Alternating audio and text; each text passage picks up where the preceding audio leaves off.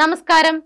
സർക്കാർ സർവീസിലിരിക്കുന്നവർക്ക് ഓരോ ഘട്ടത്തിലും ചുമതലകൾ നൽകേണ്ടി വരുമെന്നും ഇതിന്റെ ഭാഗമായി മാത്രമാണ് ശ്രീറാം വെങ്കിട്ടരാമനെ ആലപ്പുഴ കളക്ടറായി നിയമിച്ചത് എന്നുമായിരുന്നു മുഖ്യമന്ത്രി പിണറായി വിജയൻ കഴിഞ്ഞ ദിവസം പറഞ്ഞത്.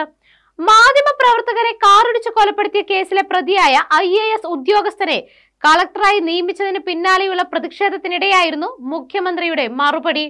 മരിച്ച കെ എം ബഷീർ നമ്മുടെയെല്ലാം സുഹൃത്താണ് എന്നും കേസ് അന്വേഷണത്തിൽ വിട്ടുവീഴ്ച ഉണ്ടാകില്ല എന്നും മുഖ്യമന്ത്രി ഉറപ്പു നൽകി.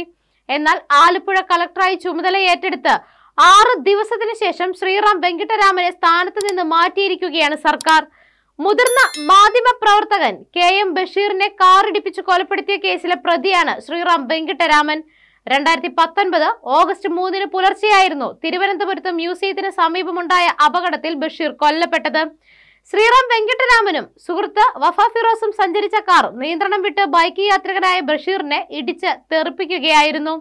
വാഹനമോടിച്ചത് ശ്രീറാം ആയിരുന്നുവെന്നും ഇയാൾ മദ്യലഹരിയിലായിരുന്നു എന്നും ദൃക്സാക്ഷികൾ പലരും ആരോപിച്ചുവെങ്കിലും ഇദ്ദേഹം ഇത് നിഷേധിച്ചു.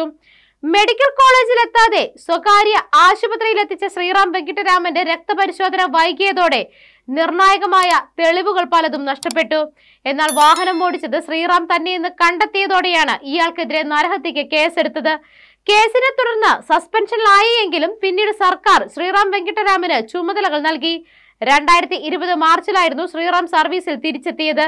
ആരോഗ്യവകുപ്പിലെ ജോയിന്റ് സെക്രട്ടറിയായി നിയമിതനായ ശ്രീറാം വെങ്കിട്ടരാമനെതിരെ മാധ്യമങ്ങൾ വലിയ എതിർപ്പുയർത്തി ആരോപണ വിധേയനുമായ ഐ എ എസ് ഉദ്യോഗസ്ഥന് വലിയ ചുമതലകൾ നൽകുന്നതിനെതിരെയായിരുന്നു എതിർപ്പ്.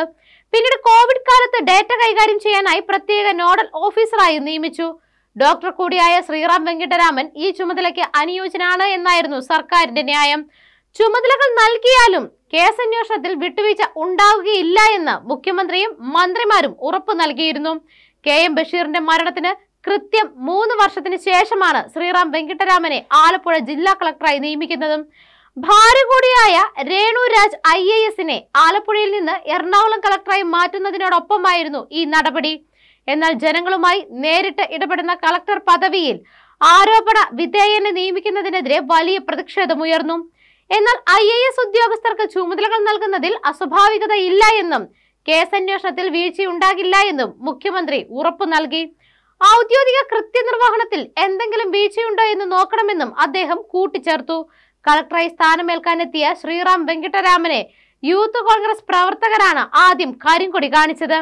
മാധ്യമ പ്രവർത്തകർക്ക് പുറമെ കോൺഗ്രസ് അടക്കമുള്ള രാഷ്ട്രീയ പാർട്ടികളും പ്രതിഷേധവുമായി രംഗത്തെത്തി. ശ്രീറാമിനെ കളക്ടറാക്കാൻ രണ്ടായിരത്തി ഇരുപത്തി എട്ട് വരെ സമയമുണ്ടെന്നിരിക്കെ സർക്കാർ ധൃതിപ്പെട്ട് തീരുമാനമെടുക്കുകയായിരുന്നു എന്നായിരുന്നു പ്രധാന വിമർശനം. ഒരു കളക്ടറുടെ ഔദ്യോഗിക പരിപാടി പാർട്ടി നേതാക്കൾ ബഹിഷ്കരിക്കുന്ന കാഴ്ചയും ആലപ്പുഴ സാക്ഷ്യം വഹിച്ചു. കേരള പത്രപ്രവർത്തക യൂണിയൻ മുതൽ മുസ്ലിം സംഘടനകൾ വരെ പ്രതിഷേധവുമായി രംഗത്തെത്തി. വിമർശനവും പരിഹാസവും ഔദ്യോഗിക പേജിൽ നിറഞ്ഞതോടെ ആലപ്പുഴ കളക്ടറുടെ ഔദ്യോഗിക ഫേസ്ബുക്ക് പേജിന്റെ കമന്റ് ബോക്സും പൂട്ടേണ്ടി വന്നു. ഒരു കളക്ടറുടെ നിയമത്തിനെതിരെ സമീപകാലത്ത് ഇതാദ്യമായാണ് ഇത്രയും വലിയൊരു പ്രതിഷേധം ഉണ്ടാകുന്നത്.